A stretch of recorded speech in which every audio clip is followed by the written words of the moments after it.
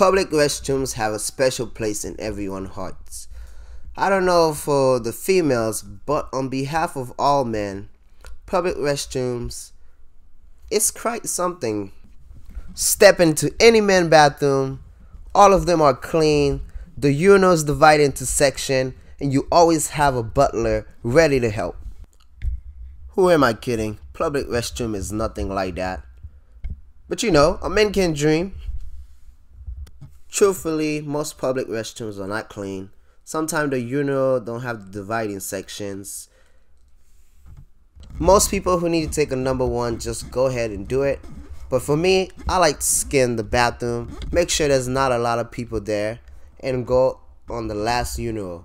But for some reason, there's always a weird person that always decide to come right beside me and then try to initiate a conversation.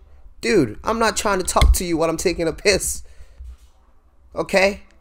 And that's not it. Sometimes it's really, really hard for me to actually take a number one. So I'm in a stall, last one again, and random strangers just keep appearing one after the other.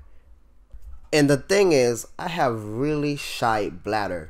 So if there's a lot of people, I cannot take my number one. The moment of release. Mm. I wash my hand after taking the number one. But there are some people who do not wash their hand and then try to dap you up after you saw them walk out of the bathroom without washing their hand. no, no, no, my friend. I'm pretty sure most people hate public restroom. But if any of you guys find this video interesting, like it.